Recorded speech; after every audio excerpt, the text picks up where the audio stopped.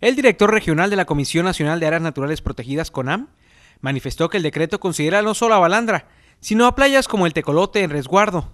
Y hay que protegerlo, hay que evitar la erosión y la deforestación, hay que evitar la contaminación y por ello se está protegiendo en torno a Balandra una corona de terreno alrededor de aproximadamente mil hectáreas que son desde las partes altas de la sierra frente a Balandra hasta la región del al sur del Tecolote.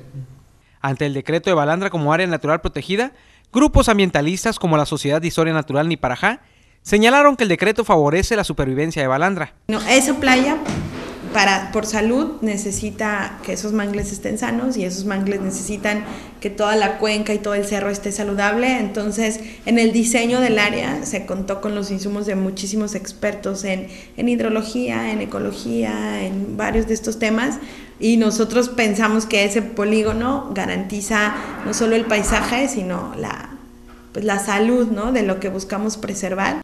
El director regional de la CONAM dijo que la institución está encargada de administrar la playa y serán destinadas para conservación y uso público y turístico.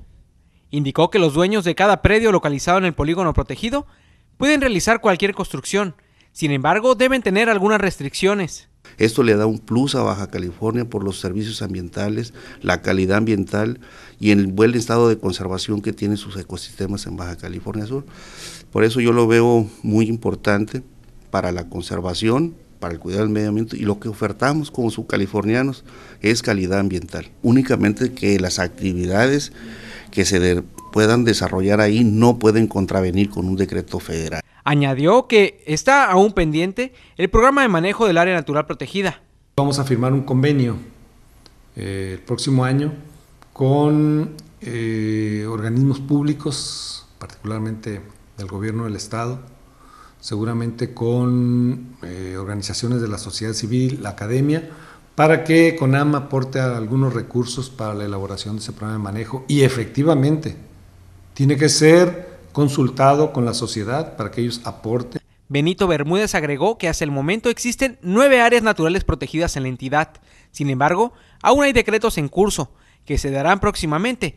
Actualmente son avisos para la población que hacen las instituciones ambientales de procedimiento. El primero de ellos mm, es el arco de Cabo San Lucas, que tiene un aviso para decretarlo como santuario. El aviso para la Reserva de la Biosfera Islas del Pacífico Contempla las islas de Bahía Magdalena, particularmente Isla Magdalena, Isla Santo Domingo, Isla Margarita e Isla Creciente, para la reserva de la biosfera submarina o profunda del Golfo de California. Alrededor del 36% del territorio terrestre subcaliforniano cuenta con un decreto de área natural protegida. Finalizó diciendo que los decretos brindan un plus al ecosistema local. Toño Cervantes, Mega Noticias.